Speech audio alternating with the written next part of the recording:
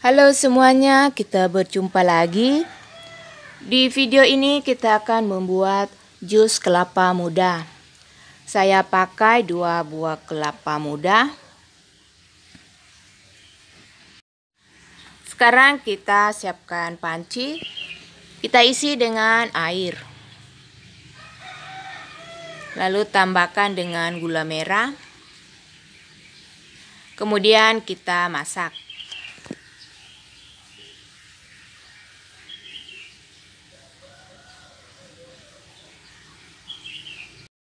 Gula merah kita masak hingga mendidih dan mencair.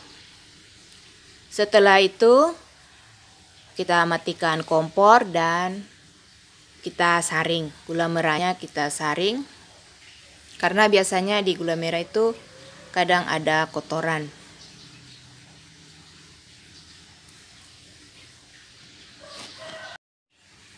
Kemudian kita siapkan blender.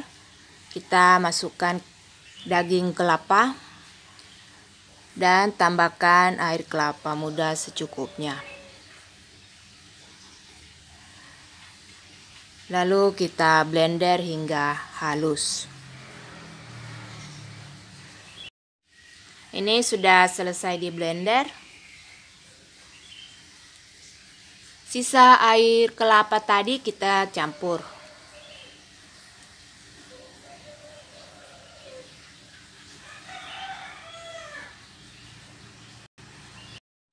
Ini sudah selesai di blender. Kalau misalnya suka yang dingin bisa tambahkan dengan es batu atau dimasukkan dulu ke dalam kulkas. Setelah itu kita tambahkan dengan gula merah.